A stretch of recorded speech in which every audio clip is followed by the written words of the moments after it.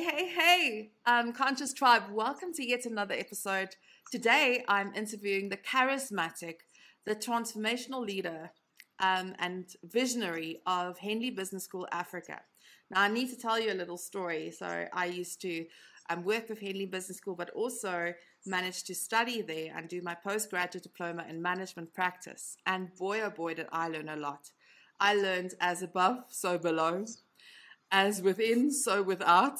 And I had to learn how to who to dive very, very deep. I really felt that I had my life under control until I started studying my postgraduate diploma in management practice, especially reflecting upon my life and the self-awareness that I need to have to be a leader. And I'm continuously learning. And every day I realize how much I still need to learn.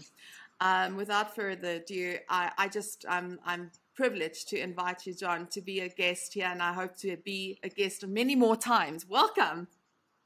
Oh, it's such a pleasure, and congratulations, by the way. I, I really admire you for throwing yourself into learning, doing so well, and frankly, taking it on exactly right by making it, you know, personal, helping it change you, and using that to make you more capable and knowing this is an endless journey. So, respect. Thank you. Thank you for doing that and for trusting us. Thank you so much, Jon.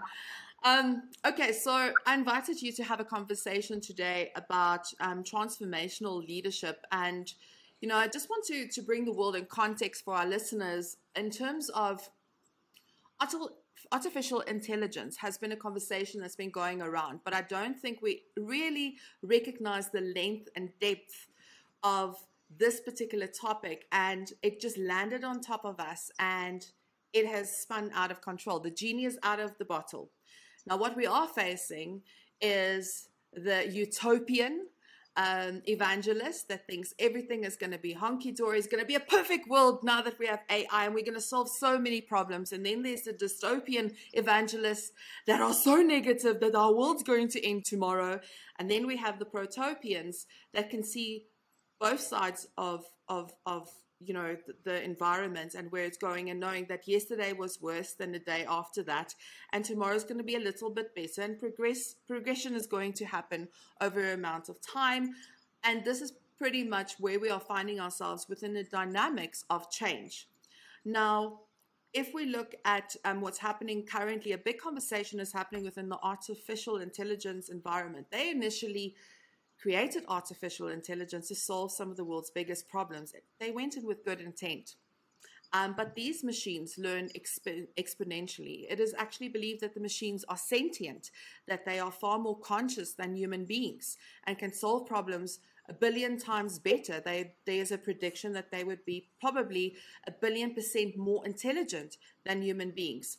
That brings into question is um, what can we as human beings bring to the table? How can we dive deeper in becoming better leaders and looking at how we can work with machine, but also recognize that when these machines are being coded, the biases that goes into it, garbage in, garbage out. And if we are not self-aware, that speaks to the machine and the machine will process that information and if we are on the wrong side of our biases, that would really show in a few years from now, if not in a few days from now. So, Jon, I just wanted to to almost get a thermometer dipstick into how you are seeing this world that we are currently having in the past six months, and what is your take on it?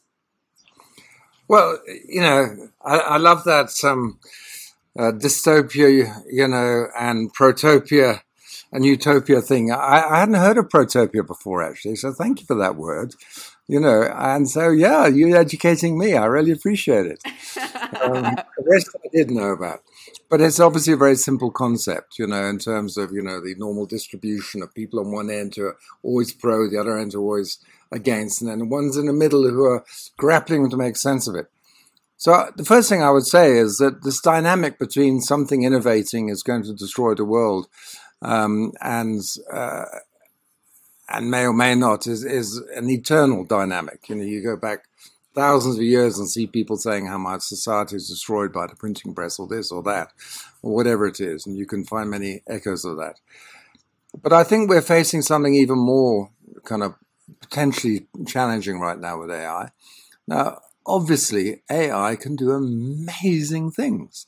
It's already starting to be more useful in in um, diagnosing cancers or producing drugs that we need or uh, helping us write properly and simply on basic briefs or whatever. I mean, I use it all day, every day. You probably do as well, and you can see its utility. But it it is a different form of intelligence from us at the moment, um, as far as we understand it. And of course, those plus sides. If you can engineer a virus uh, that is going to help your or solution is going to help you cure from cancer, you can just as easily engineer something that would be mega dangerous. You know, you know, coronavirus on steroids, or you can uh, create it for arms and weapons that, uh, that kill each other and kill people who get in the way. Know, only just recently we heard that story of a, a, drone that apparently turned on its operator when it tried to stop it carrying out its mission. You know, because it's all about the programming. So we're living in a very dodgy, dancing world, and, and the AI specialists are coming together and saying we really do need to think about regulation and how we manage it. But we are, we always live in danger. We always live in a form of danger. You know, we go out, we may be hijacked. We, we have sex, we may be catch HIV. We, we go out and uh, get run over, or we do X, Y, and Z. So the world and life we live, um, the things we do are always have some inherent risk in them. And we learn to manage all those things, and we have to manage them consciously. But the point about that is that consciousness requires awareness of a situation and of other people around you, and it requires a certain interdependence. You know, I have to rely on you, you have to rely on me. You know, to manage COVID, we have to manage on other nations doing the same we're doing. To manage climate, we've got to manage what other nations see as well. And so those extremes there are always creating massive arguments and things. Now, with AI, of course, you've got the possibility of deep fakes and dialogue and conversations and stories that are completely manufactured around a particular point of view. How do we know the difference? How can we tell them? What are our brains trained to do? So we've obviously got to train AI to catch AI. So it's an AI arms race. So yes, it's it's very challenging, but we've put ourselves here as human. This is part of human progress. It could destroy us, or it could make us fantastic. I lived. I was brought up in the in the in the um, you know under the Iron Curtain and the Cold War. We had nuclear drills when I was growing up to dive under our desks. My brother flew bombers, if you like, and he's a very peaceful guy and has moved on from that. And uh, so he's, but these are the situation we've always lived under. So there's no, there's nothing new about these risks. What do we do though? What do we do? How does it mean? How do we become ethical? And ethicality comes always from a sense of what it does, not just for the person in front of you, but for the whole system.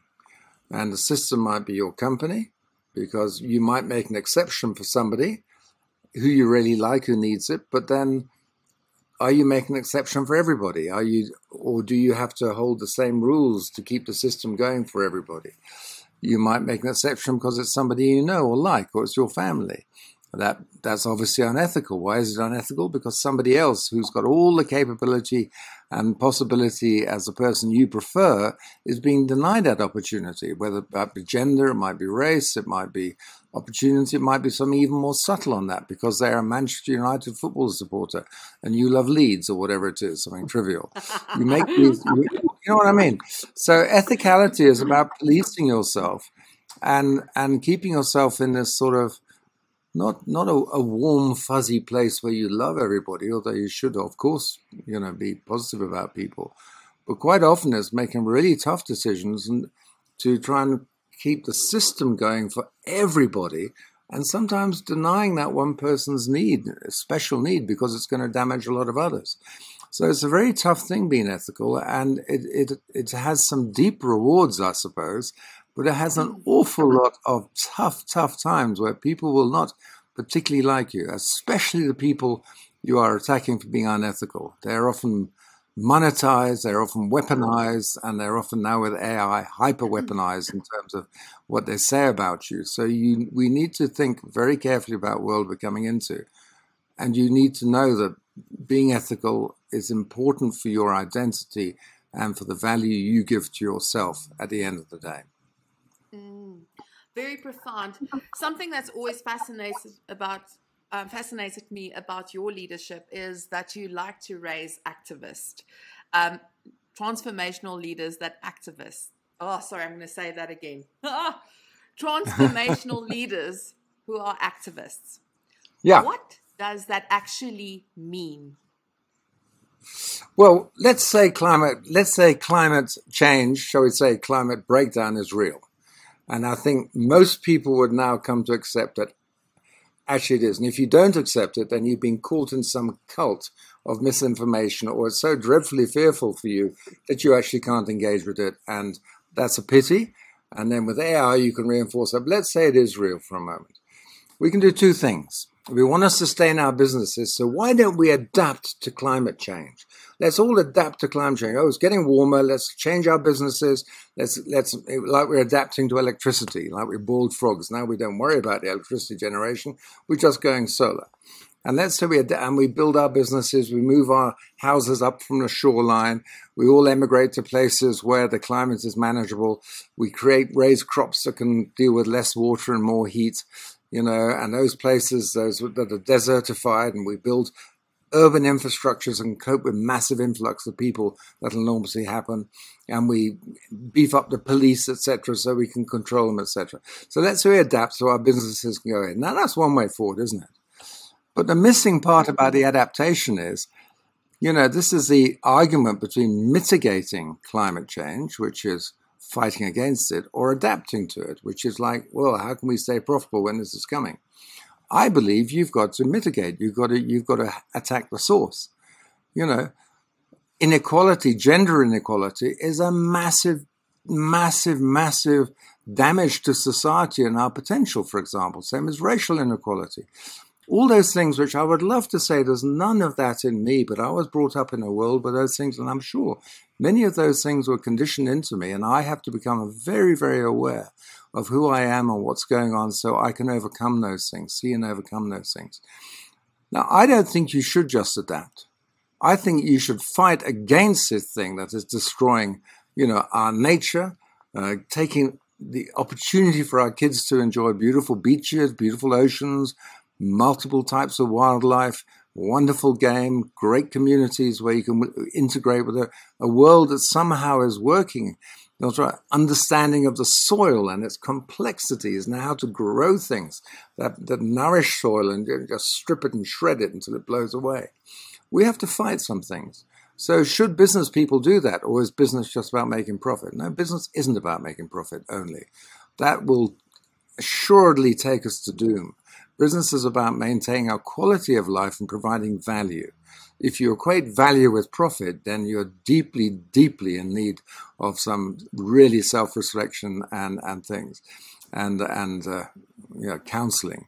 So we actually have to fight. So business schools should be seeing the future coming and saying, this is not a, a future that I think is not is honorable or dignified. Businesses need to be not just about profit, but about creating value that lifts society collectively. That's what businesses always did. They created value, not just profit. Profit is just how, one measure of that value. And uh, it's an important measure, but sheer money and sheer profit is never going to make us all happy. We have to spread that money around, otherwise, we're going to fight migration, we're going to fight poverty, whatever. So, if you are a leader now, you have to have a consciousness that understands your, your limits of what you're counting is not just your profit, but you've caused damage in society. You've caused damage to nature. You've excluded people from opportunity. You need to pay for that. Otherwise, somebody else has to pay for it. You made that happen, so why don't we include those costs in you? And that's all about a triple bottom line. You know, I've damaged it. I've made. I've created pollution. I should pay for that thing. Government shouldn't have to. People shouldn't have to. I should. And then your business models have to be much more astute, much cleverer, much more aware, much more conscious in order to make a business that doesn't just perpetuate that damage. And so around the world, we collectively have to come to think like that. And so your work in trying to promote conscious business, etc., is incredibly important, Carmen. It really is, because people need to think about these things. And, and it often seems impossible to do that. Well, it's not impossible. It's hard, but it's not impossible. You know, you have to make a choice. I really don't want to my kids to grow into a world that's depleted like that, and I'm willing to fight for it. I think businesses should. I think business schools should. And if you're serving businesses who are just paying your current commissions and fees to do a bit of work for them, but their business model is damaging society. If you don't point that out, you're not helping the business because it might for a while succeed, but in the end, it's going to reach a, a point where public opinion, damage, transparency on their mm. decisions will hit them, like it hit KPMG, Bain, and all those other companies in the in the years of state capture, who thought they were making a rational decision, but weren't. You know, they weren't, it, and it destroyed those companies. So we have to point out that companies need to be activists in social business schools, and by activism I mean you have to mitigate, prevent the damage, not just adapt to it. It's so true um, what you're just mentioning there. I think um, this is one thing that's really become so real for me is I, I really, when I work with organizations, I choose to work with them. And I know it sounds very arrogant, but it's not coming from a place of arrogance. I need to have a clear conscience that whoever I'm working with is prepared to listen, but also at the same time is doing the right thing, even if they're not, that they're willing to listen and engage the conversations um, where I would put in the effort and the energy to bring data to the table, to bring the information, to say, this is what we're dealing with, this is what's happening society at large, and all the various tools that I've learned from, from Henley Business School, for example, systems thinking, external operating environment, the shared value models, looking at, at um, you know, all of the various trends, but also understanding where innovation needs to happen. I was watching, a, um, I interviewed Faith the other day, um, and there was something in Japan where they had a, a, a school um, chalkboard with a scanner that went over it that's a computer. So every time the teacher writes on the on the blackboard, there's this machine that goes over it and it scans it, computerizes all this information. It then um, puts it into text and sends the notes to the children. And I was like, are we innovating around the right problems in the classroom? I would say, I would think that the educational system in the schools needs to change um, rather than the school board. But anyway, that's just my opinion. um, but I. I mean, it's it's it's it's looking at um, all of these various things of what needs to change in society. Something I want to quote um, that you're probably very familiar with is um, the economist Milton Friedman, and he used to say, "A society that puts equality before freedom will get neither. A society that puts freedom before equality will get a, a high degree of both." And I don't know, I feel that's very conflicting because I think that's exactly why we're sitting in, a mess that we are sitting with in society, is because so many people were left behind. And inequality is just shaping into different forms and shapes. Like now it's the digital divide, and I've always been very passionate. You know that, Jon. It's like, okay, now this tech revolution is happening, but what about the many people that don't are never going to have access to to technology in the first place. How are they going to adapt into this rapidly changing world when they are being left behind? It's a different type of colonialism. Well, I think you're right. I mean, you talk about system thinking. Let me deconstruct system thinking for a moment. You know, I have a headache, okay? And so ah, I get up in the morning, I take an aspirin. Ah, my headache goes away, okay? And then I and I have other symptoms, lots of them. And then the next morning I get up again I've got a headache and I take an aspirin and it goes away. I keep doing that, and every day I suddenly realize that I'm making these headaches and other. I'm getting unfit every day. You know, it's awful, and I keep on taking aspirins. Has the aspirin cured the problem?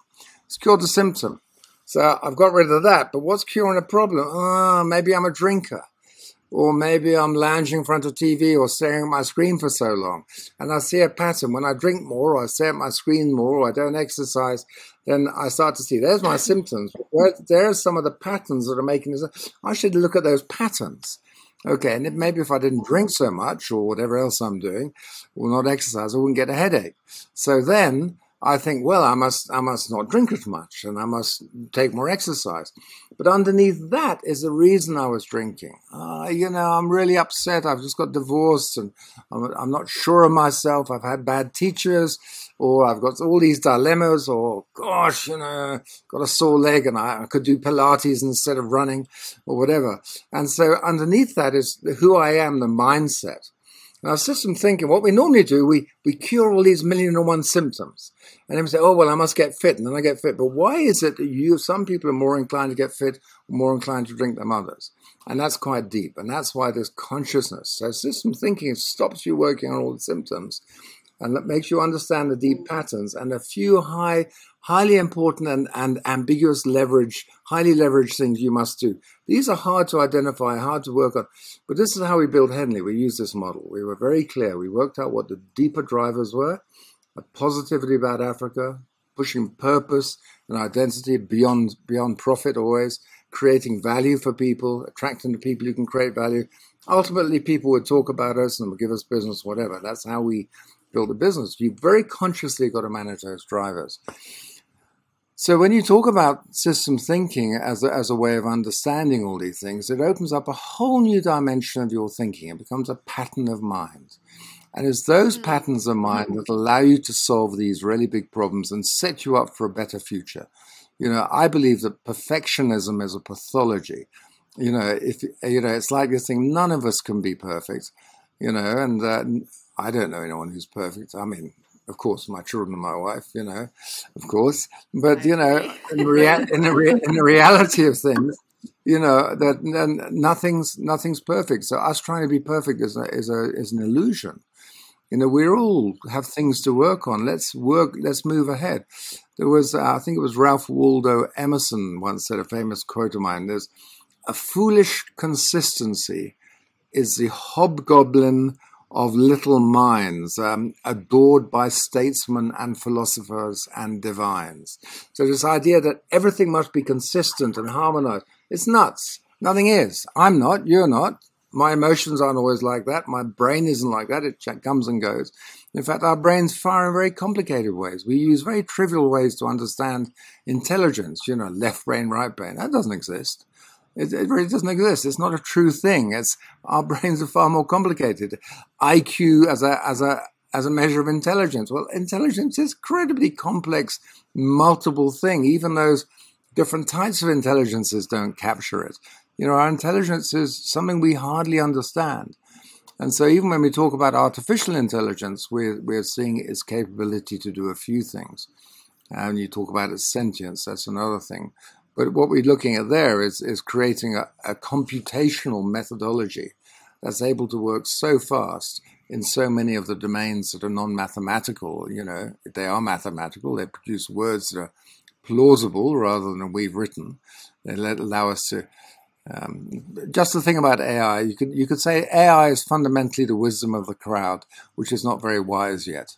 And we all know the wisdom of the crowd can be right, but it's not always very inspired. It certainly isn't inspired. So all this will involve. So what we need to do as we measure ourselves and we measure our businesses is understand that in order to be sustaining, we need to work on these deep drivers. Why has our world been damaged like this? Why do we have corruption? Uh, corruption, very likely, because of lack of opportunity. Why do we have this divide in South Africa? You know, it's not because people are more intelligent than others, it's because they have more opportunities. We're all gifted with more or less the same intelligence in life. Whatever we are, whatever we look like, we're probably mostly pretty much the same. Education doesn't make you more intelligent per se, it allows you to drive your motor, your engine in better and different ways. It allows you to accelerate the use of this brilliant mind we have and, and whatever. So people who are stuck in poverty have not had opportunity, as simple as that.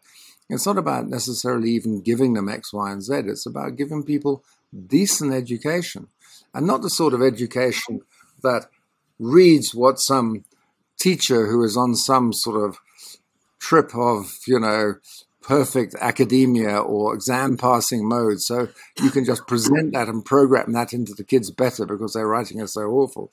But something that's inspired. You know, we say education isn't about filling people, it's about lighting fires under them so they fly. Mm. You know, it's, it's, letting people grow. And so the people we are excluding through a lack of opportunity are the people who are keeping us in poverty.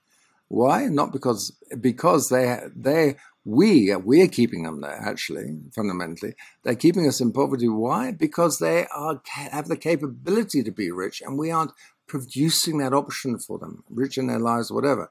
We need to educate, produce opportunities, believe in people.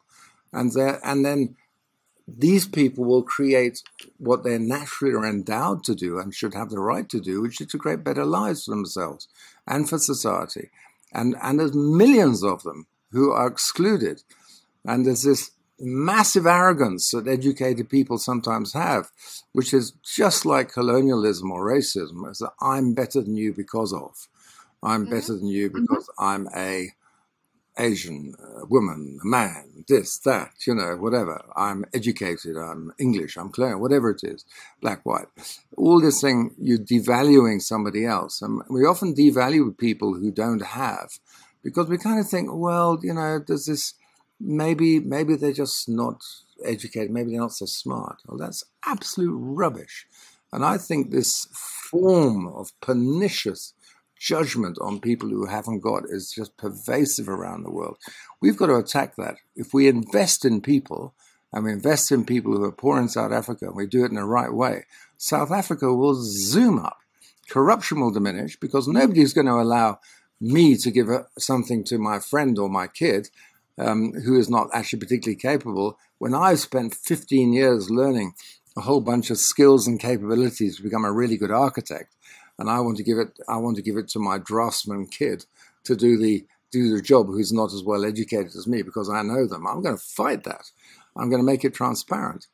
So we have a really delicate future ahead of us, and what we need to do is just believe that we can make a difference. Um, and I don't, and I'm afraid not a heroic difference either. Just the sort of difference that's just just keep walking in the right direction, and just encourage other people to do that as well.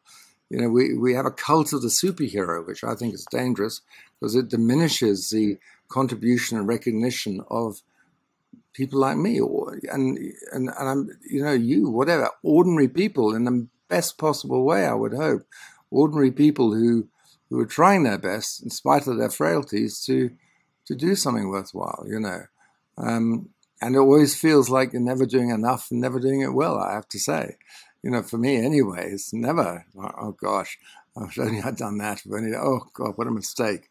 Oh, why did I, did I really do that? You know, um, but you have to pick yourself up and keep going. You know, and we've got to, You've got to let, You've got to give people a break, you know. Sometimes we don't give other people a break, and that's okay. Well, I, I messed that up, but you can't stop living and trying because of that. You just got to try and feed it back forward uh, and lift it up again. Sorry, a bit of homespun philosophy. I'm so sorry. Yeah. No, this is very insightful, and and you you touch on yeah. something very interesting that I I'm willing to share because uh, I have you in the room. is um, when you spoke about perfectionism, I've learned something very powerful um, about that about myself. Is I used to be the super perfectionist, trying to perfect everything, and what I've learned about it is is if you have, have have so much control over thing, over everything in your life, you actually have no control. And it's actually in those moments that you don't have control, those messy moments where big ideas happen. So I'm I'm actually engaging um, lack of perfectionism, if I can put it that way, in my life because it actually allows for bigger aha moments and creativity to flow. I know it sounds crazy, but I mean it's it's really a profound thing. And um, I want to to add on to that. So. Um, uh, one of the uh, my colleagues, the lady that um, helps to keep maintain our home, um, I decided. She, I, I, said to her, "What what is your dream? What do you want to achieve in your life?" And she says, "I I want to build a legacy. And I said, How do you think you're going to build your legacy? And, and she says to me, she wants to buy a piece of land. I said, Okay, now when you have the piece of land, what do you what do you want to do? Um, and she said, I want to grow vegetables and I want to sell it in the community. And I was like, okay, that's great. How can we make that happen? It's an easy thing for me to make hap- make it happen.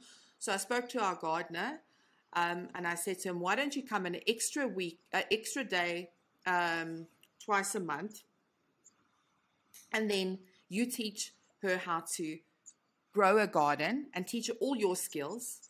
I'll teach her what I know, and then we all learn together. And then I don't know how to garden, and then we are learning from each other. And this way, we can take leadership into becoming self sustainable at home. And then, whatever we grow, we enjoy a meal together or we can make food together. So it eventually not progressed to, to the stage where we not take food from the from the garden and put it onto the table. So now we have learned together how to create healthy, exciting meals. And now it's like growing into this little exciting thing that's happening in the household.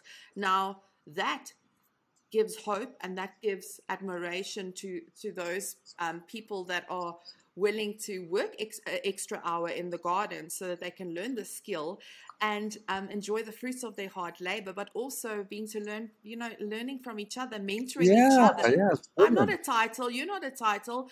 You know, let's just take everything away and strip the, everything away and know that we are humanity and let's learn from each other because we all know something the other one doesn't.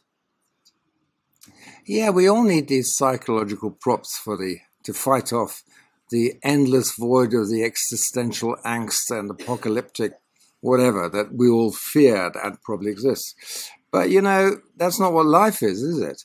We live here. Now, you talked about why, if you'd been perfectionist, you couldn't have taught that because you wouldn't have known the whole thing. So, how could I teach somebody? Or you would have found something about it and they would have to do it right first time. You co learned, didn't you? You dived into something and you learned, but you didn't even know what you were going to learn, right? So if you have perfectionists, you try and define what you're going to learn and do because of your mindset of this moment. But your mind is going to change the moment you have new experiences and try something new. It'll it'll be different.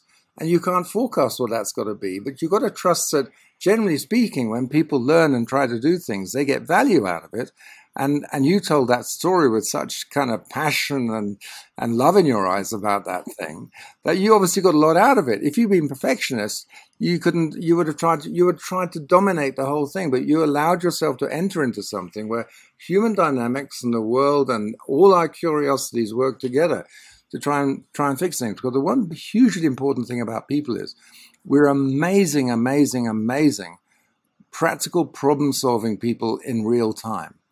You know, there's there's this um, there's a story you've probably heard about these, these soldiers who joined a, another army, and uh, they they joined the army and did this exercise in the mountains in winter, and they lost their map. And it was a different set of mountains they'd never been into. Let's say it was NATO and it was the Pyrenees instead of the Alps they were used to, and they were from northern Italy or somewhere.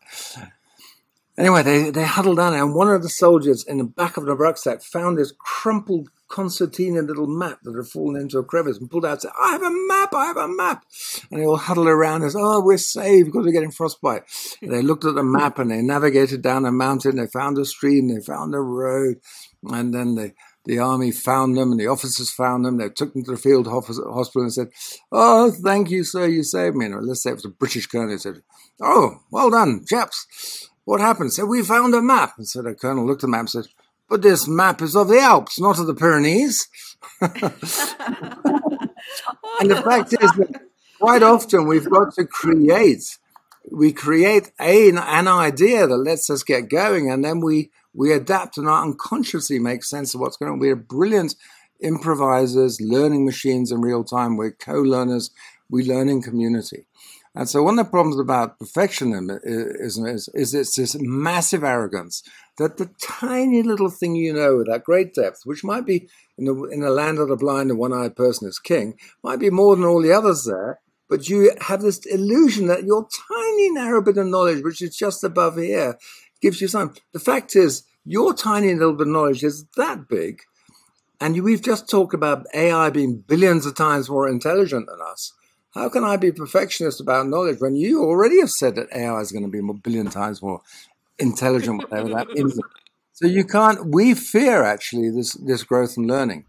You know, the people who rode horses must be terrified at the thought that you get into something in the morning and you jump into something that's got 250 horses. i am driving 250 horses. It's going to kill me. In fact, they used to have flags in front of the cars to slow them down, to warn people, and you couldn't go over 30 miles an hour because you couldn't breathe, is what people thought. Now, you jump in a car where it might be 150 horsepower. Maybe you've got a 500 horsepower thing that you drive, but you're jumping into 500 horses, it must kill you, mustn't it? The fact is, we use technology you find out ways to use it. Now, this AI is a very potentially dangerous technology. It's hugely dangerous. Mm. And all the, all the extremely skilled people who know about that uh, are not being stupid when they're saying we have to start to regulate it and all that.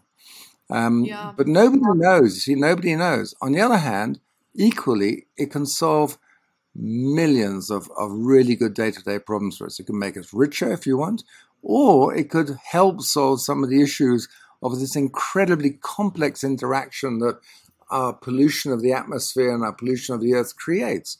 that we don't understand well enough to solve yet. It's only more mythical ideas like, you know, James Lovelock Gaia hypothesis, which posits the idea of the Earth being an intelligent being and being a system itself, that, that are, actually are very useful because they, they create this idea that the Earth itself is a living organism, um, not these bits and pieces here. Now, it may or may not be true that it's a conscious living organism. It kind of doesn't matter. What it does is force you to think about the millions of complex interactions. If you want to read a book, you want to read Regenesis by George Monbiot, uh, M O N B I O T. His first couple of chapters, where he describes what earth and soil are, um, are absolutely mind numbing because the complexity and the kilometers of microlife in just a handful of soil and the depth of multiple different sorts of bacteria. We think soil is about nutrients, humus, and fertilizers. It's not. It's a living, massive symbiosis of multiple types of bacteria, of tiny living nerve, of fungi. All this is a rich thing that makes plants absorb nutrients, grow, be healthy, be resilient, and supports all the complex things which we don't even begin to understand. You know, we don't even begin to understand. So we're at the nexus now, the point where we could absolutely destroy ourselves. But we've got there, and it's up to us not to let this happen. And your idea of conscious consciousness and conscious leadership becomes really important for that. It forces you to trust your own imperfections in the in this in the search of something that is worthwhile. You can't you can't be perfect, so accept it and just kind of enjoy the ride and try and do some good, man. You know? Yeah. Hippie hippie talk you know? Hippie talk. But yeah. but it's, it's it's it's listen I, I i i'm like as i'm getting older i'm like yes see this is fascinating. Um i think the sh- the shift happened for me when i was in my 40s and i'm actually um, researching that quite significantly. It's like that 40 shift. It's like when you really start thinking about life um but i now have a worm farm Never oh, thought I would put my hand on soil. um, I'm making my own compost, and um, i mean, I'm learning from everybody over here that's teaching me these things. And then I started feeding birds, and the birds come and wake me up every morning at half past five to tell me to go to the other side to feed them. And I would sit and eat my breakfast and watch them and the hierarchy of how their ecosystems and how the wildlife respects each other, how they take turns that everybody can actually eat.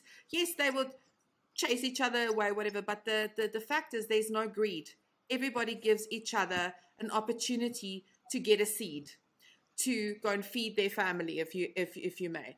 And sometimes when you when you look at that, you recognize that we are one with um, with nature, and if we can understand the interconnectedness of how we are with nature, we have so much more respect for each other and recognize that everybody's on their own journey as long as um, that inward journey happens. I think um, the, the inward journey is where you truly find yourself. And if you can just focus on yourself as a being, that is where you can make a difference. It's just changing who you are and be at one and at peace with who you are as a person.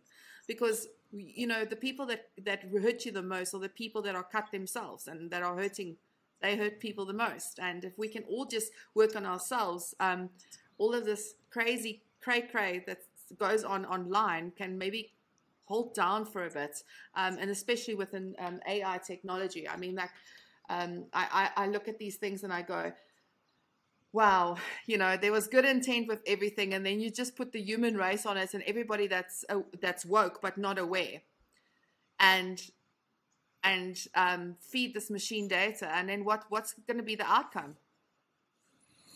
Yeah, I, I, think it's right. You know, we have a tool which is an educated mind that articulates all sorts of words. What the meditators would call the mind. You know, this this rampant thing that's completely uncontrollable. And if you talk to people who've done a lot of meditation in their lives, I mean, I was listening to Jack Kornfield the other day talking about Ram Dass, who died not so long ago, a very oh, famous kind of meditation guy. And um, and Jack Kornfield, who's also one of those Zen guys, saying to him, "Oh, Ram Dass, you know, I'm. Uh, how do you control your feelings and your thoughts and these passions and your fears?" He said, "I mean, it's so great. You're so peaceful. You obviously, it's so good that you've got rid of them and you've overcome them." He said, "Oh no, no, no, no! They're still there. They're still exactly the same. They never go away. I just don't care about them so much, you know." And so the point is, we try. The mind identifies these things that we do and tries to specify what life is. It then tries to tell us how to cure that. But it's like it's trying to cure itself with the same tools. It's like you can't. You've actually got to let it go and, and be a little bit more. And, and in that being, as far as I understand, when it happens, which is rare because I'm just as compulsive and caught up as anybody is most times, I try, you know, but I admire people and I get a lot out of people who are trying to do that. So we're mutual in doing this. In those other times, I start to see, oh, well, okay, I can't express what it is not to be thinking all the time, but what I do know, it feels better, and I look at my fears and and I go into them a little bit more, and in doing that, I feel uh, somehow a bit fuller, and, and at the same time, I start to feel a bit more caring you know, for people around me and, and also probably for myself as well. But I'm not artif- I'm not artificially making that. It just kind of is. It's almost as that that is part of our real identity. And um, and I think we have developed these sophisticated minds that trap us into trying to cure and think everything too much. They're, they're, they're only mm. tools as well. So I think it's really important to try and understand that the consciousness doesn't mean like you suddenly got all the answers. It's it's Mm-mm. it's like you can have a purpose and a meaning and believe. And the other thing is that even there you're gonna you're gonna meet people sometimes who are in their journey and you're gonna clash and cross because there's always a lot going on in all of us. You don't mean to. Nobody means to hurt each other really, or sometimes we do, I suppose. But you often have to make a decision for one that will be very hard for them so that the collective can do well. You might have somebody who's built up a whole business making plastic things, and their whole family is educated, their whole community is supported by it, and this fantastic wealth that's created and the community support is, is, is made these fantastic plastic artifacts and creates lots of smoke, and you you've got to put it on the on the soil, and the microplastics go in the water from it, and in stopping that person doing that, you're actually you're actually really creating a damage for that whole subsystem, and, and on a bigger scale, that's like the oil lobby, you know. And so you're mm-hmm. always going to fight. So if you are going to be conscious, as as Jung said, there's no consciousness without conflict, either inner and very often outer. And yeah. you don't have to you don't have to hate it. You may. And the other thing, if you're going to be activist, you have to know that you will probably lose but the point is, if you mm. if you know that you know those ants, those Zulu ants that go across the rivers, the streams, and they go and they hold on to each other, and then the ones in front drown, but they're still holding on. Ones go on top, and they, and they make this bridge, and they they're on a whole body of dead ants underneath them who are locked in with each other just before they died. You know, that's how activists are. You do your bit and go as far as you can, knowing you're doing something, for your kids or for your your friends in the future or for generations down, seven generations as the, as the Native Americans would, the First Nation would call it. Um, you might not make it, but you're making a bridge for people to follow you. Without you doing your bit, the other people behind you wouldn't do it. So you you cannot think it's just you. you you're part of a movement. And this idea you're part of a movement is is incredibly important. This solo operation that we're conditioned to do in a lot of our education um, we're all part of movements and we have to create mm. benign movements. Even then, we might make a mistake. Is it a cult? Have you lost a job? Have you become a Nazi party? Or have you whatever? So it's always on the edge. You've got to be sensing and awake and asking and testing yourself and hoping beyond hope that the care you have is going to be something useful in life if you can keep it down. Another bit of homespun philosophy. I'm sorry, going on a lot. Today. No, it's so beautiful and it's so true. And one thing I have to say is that it's um, one thing I have learned about activism at Henley, and especially from you, Jon, is it had it come. You can't just be an anarchist. You can't just go there and create chaos. There has to be a value system in place. Um, and with with values um, and and with a movement, you know, you, you need to make sure there's not a void um, there needs to be substance in whatever you're trying to achieve and you know slow progression but also um, you first start with yourself and you are going to make mistakes and maybe somebody behind you is going to pick you up when you make a mistake and and point out where you're going wrong and is having that willingness also to accept criticism from those around you. That to me is is a is is a perfect leader and it's sometimes um, you know having that conversation where we all lead together because we are rooted in the same yeah. value and the same morals you kind of got to care about something haven't you whether it's you, yeah. your partner, the people you love, the family, and you don't want to care, mm-hmm. care about a little cult or club that's fighting the whole world because we are programmed to be very tribal. I mean, that, that guy, George Monbiot, who is a very famous environmental activist. I saw him writing in the newspaper, The Guardian, the other day. Oh, I'm so sorry. But a few years ago, he was raving on about the fantastic, you know, wood stoves, how brilliant they are, how energy saving they are, how, you know, the wood, isn't it, really creates. He says, I know, but I've just found out that the wood smoke pollution is far worse than any other pollution.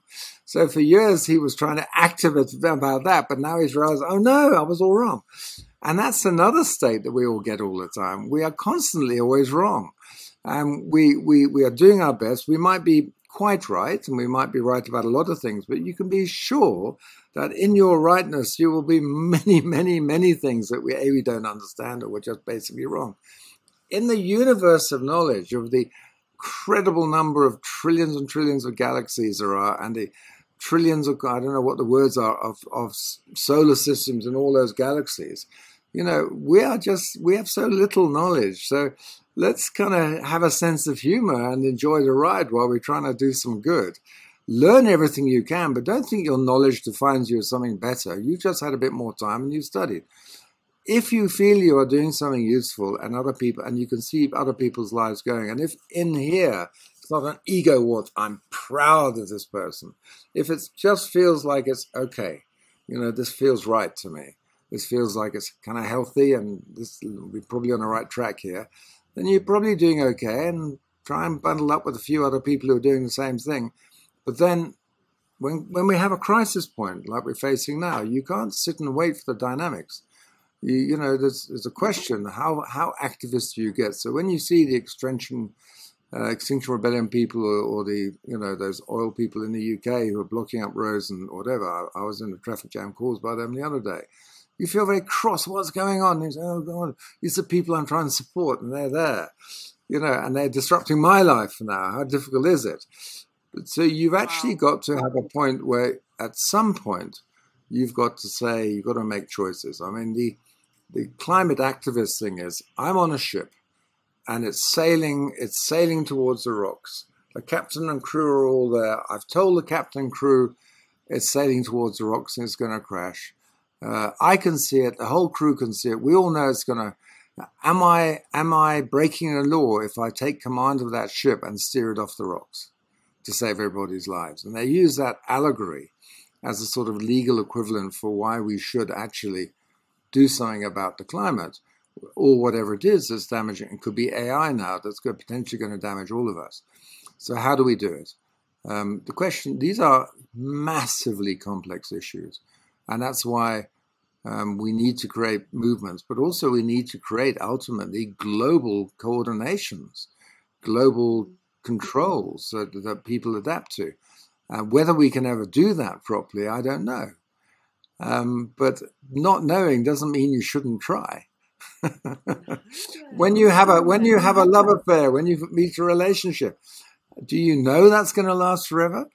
You, you know, you don't know anything really. You assume it. Things don't work out, but you still got to try. You know, and um, so I think that's that's the state of activism we're in. So you talk about conscious leadership and ethical leadership. You know, you can read a book on ethics, but really, how do we get to how do we get to think what ethics is? And it isn't, and it doesn't put you on a pedestal being ethical, uh, trying to be ethical. It, it doesn't because a what is ethics? The greater number, the greater good, and you know all sorts of different models what ethics are. But you need to do something that fundamentally may hurt you for the greater good. Uh, in a sense, that's part of being ethical, and to stand up for something that where you might get a lot of pushback um, for for a good of people you care about, or if you care more than just your family or you, for the people around you, and if you can think yourself as part of humanity in a understanding all the vagaries of humanity and not being put off by it and not selectively choosing a little cult of group, if you can start to feel more of the human condition and that's in you and that's who you are, so you're quite understanding of people and appreciate people and life we live in, then you then you should be activist. You should do something about it. Um, mm. And that just destroying activism is about building. It's about building something that has become decayed and out of date and is fundamentally damaging that nobody can escape from the businesses, you know, the, the, positions, the jobs, you know, our status, our, who we are, the identity of ourselves as Southern Christians or Muslims or Democrat or Republican or this or that, you know, these crazy wars are going on. Am I willing to move beyond that? To think of think of something that I think may be more important, than whether I'm left wing or right wing or whatever. And activism means trying to go along with that, not trying to be a guru, not trying to be anything else, just trying to do your level best to get things going in the right direction so that we'll all be a little bit better moving forward instead of destroying the beautiful country we have, beautiful world we have. You know, I mean, you talk about your birds. I totally get that. You know, there's something in that that, that, that seems too words seem too trivial to express that feeling of being close to nature and watching how they work. It's something that is close to our historical nature, you know, us and the animals. Okay, so which is the animal? And uh, we all are, obviously, you know. Sorry. Sorry. we, we don't believe that. We are somehow superior, you know. We are superior in some ways, but surely not intrinsically. Yeah. Jon, it's it, has been such a profound conversation. I really enjoyed. It. I felt like I sat with you on, next to a fireside. Um, I want to close off with something um, that you touched on. Um, I, I recently started watching. I'm, I'm fast. I, just for your, I am a bit of an esoteric, so I started started studying numerology as well to understand the human design through numbers. Um, and there's a story behind it why I did it. But anyway, um, so I started um, watching like things like the, um, Leonardo da Vinci um, decoded and um, Shakespeare decoded, etc. And something that's really interesting from Nostradamus, all of them, they spoke in this secret language. It is like Shakespeare's a play within a play within a play. There's actually a hidden code, um, and all of them had the same behavior because they were activists in in their time, but what happened was they knew that if they if they that people would figure it out centuries later. So they coded their work and for people to discover at a later stage. And then when you start looking at the decoding it's fascinating and how we interpret everything and where it's actually accepted um, in the modern time that we live in and how they managed to preserve it for 400 years by the way that they coded it.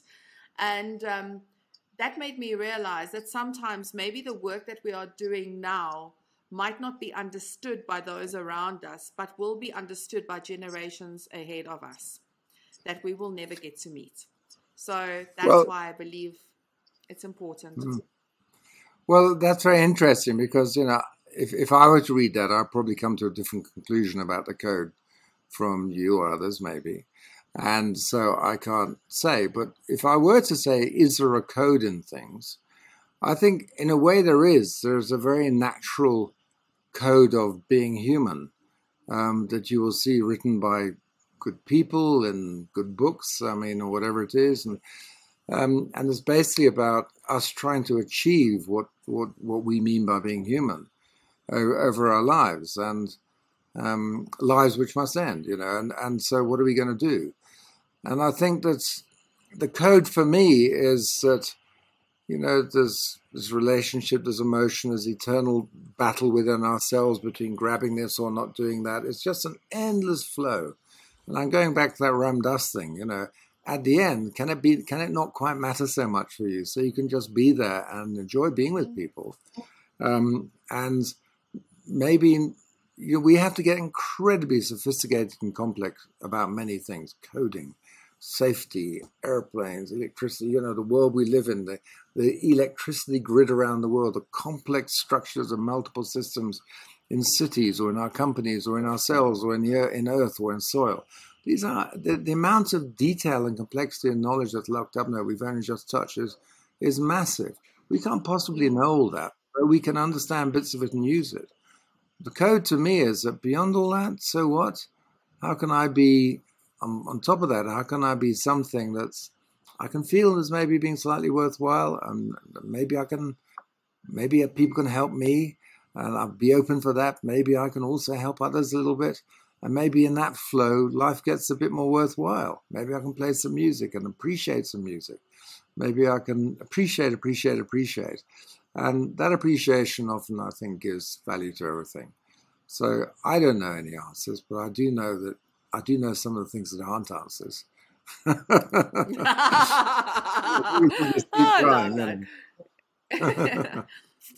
anyway, Jon, thank you so much for your time, and um, thank you, Carmen. May we all find a way to inspire um, conscious leaders in in every action and everything that we do, and learn from those mistakes where we don't manage to do that.